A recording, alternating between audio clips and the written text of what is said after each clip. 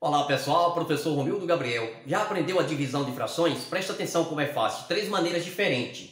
Primeiro, você vai manter a primeira fração e multiplicar pelo inverso da segunda. O 3 vai para cima, o 2 vem para baixo. 4 vezes 3 dá 12 e 5 vezes 2, 10. Podemos simplificar em cima e embaixo por 2, ficando com a fração equivalente 6 quintos. Segundo caso, pessoal, vai multiplicar meio pelo extremo. 1 vezes 9 dá 9, 7 vezes 2 dá 14.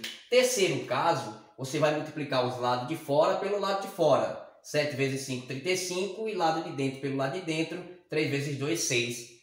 Tá aí, pessoal. Tchau, tchau e até o próximo.